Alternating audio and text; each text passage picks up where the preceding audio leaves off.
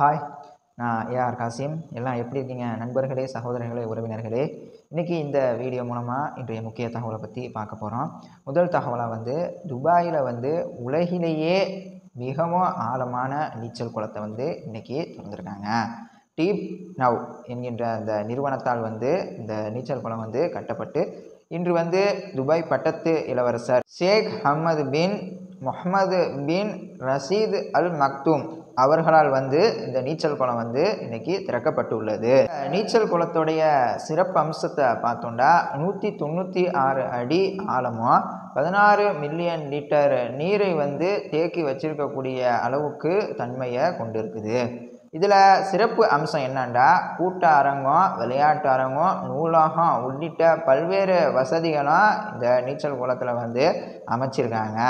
இது வந்து உலக சாதனை கிண்ண சாதனை பட்டியலில் வந்து இடம் பிடிச்சிருக்கு என்பது வந்து குறிப்பிடத்தக்கது. புர்ஜி அல் அரபு புர்ஜ் கலீஃபா அப்படின்ட்டு சொல்லுவாங்க. அதில் இதுவும் ஒரு சாதனை பட்டியலில் இடம் பிடிச்சிருக்கு என்பதில் மிகவும் சந்தோஷமாகவே இருக்கின்றது. ஒரு நாட்டினுடைய வளர்ச்சி என்பது அவர்களுடைய அந்த நிர்வாக திறன் அடிப்படையிலேயே அமைகின்றது என்பது தான் குறிப்பிடத்தக்கது. பொதுவாக சாலை அமைக்கிறதுக்காக வேண்டி அந்தந்த இடம் அந்த வயல்வெளிகள் அங்கே வீடு இருந்ததுன்னா அதெல்லாம் வந்து சாலை அமைப்பதற்காக வேண்டி வந்து கவர்மெண்டில் அதற்குண்டான தொகையை கொடுத்துட்டு அங்கே வந்து ரோடு போடுறதுக்கு இது பண்ணிக்குவாங்க. அது போல் வந்து சீனாவில் ஒரு விசித்திர சம்பவம் நடந்திருக்குது. பத்து வருஷமாக அந்த ரோடு போடுறதுக்காக வேண்டி அங்கே வந்து இடம் எடுத்திருக்காங்க. ஆனால் ஒரு பெண்மணி மட்டும் இல்லை நான் கொடுக்க மாட்டேன் அப்படின்னு சொல்லிட்டு பத்து வருஷமாக போராடி அதுக்கு பிறகு அந்த ஊட்டை மட்டும் நடுவில் விட்டுட்டு அதற்கு சைடில் வந்து ரோடு போட்டிருக்காங்க. இப்படிங்கிற ஒரு விசித்திர சம்பவம் வந்து சீனாவில் நடந்திருக்கு. அந்த பெண்ணை வந்து பத்து வருடமாக போராடியிருக்காங்க. எல்லாத்துலேயும் வந்து அரசாங்கம் வந்து நிலத்தை கைப்பற்றி அதற்குண்டான தொகையை வந்து கொடுத்துருக்குது. ஆனால் இந்த பெண்மணி மட்டும் கொடுக்க மாட்டேன் அப்படின்னு சொல்லியிருக்காங்க. இந்த பெண்மணிக்கு வந்து உங்களுக்கு டபுள் ஃப்ளாட் தரேன் வேறு ஒரு இடம் தரேன் பணமும் தரேன் அப்படின்னும் சொல்லி சொல்லியிருக்காங்க. ஆனால் கடைசியில் கொடுக்காம அந்த வீடு இருக்குது அதை சுற்றி ரோடு இருக்குது. அந்த வீடு வந்து நாற்பது சதுர மீட்டரில் இது அமைஞ்சிருக்குது. லியாங் அந்த பெண்மணி பெயர். இது வந்து ஒரு விசித்திர சம்பவமாகவே இருக்கின்றது. வாட்ஸ்அப் நிறுவனம் வந்து இந்த புதிய அந்த தனி உரிமை கொள்கைன்னு சொல்லிட்டு சில அலப்பறைகள்லாம் பண்ணிக்கிட்டு இருந்தாங்க. இப்போ இடையில கூட ஒரு மெசேஜ் வந்துக்கிட்டு இருந்துச்சு. இந்த மாதிரி தனி உரிமை கொள்கையை வந்து ஏற்றுக்குங்க ஏற்றுக்கங்கன்னு மெசேஜ் பண்ணிக்கிட்டே இருந்தாங்க. அதை யாரும் அக்செப்ட் பண்ணல கண்டினியூவாக கொடுக்கல. இந்த தனி உரிமை கொள்கைக்கு எதிராக வந்து மத்திய அரசாங்கம் வந்து வாட்ஸ்அப் நிறுவனத்துக்கு வந்து பல கடிதங்களையும் எழுதியிருந்தது.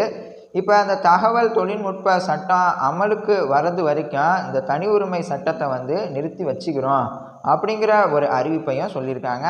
பயனாளர்களை யாரையும் நாங்கள் வந்து தற்போதைக்கு கட்டாயப்படுத்த மாட்டோம் என்கின்ற ஒரு செய்தியை வந்து சொல்லியிருக்காங்க.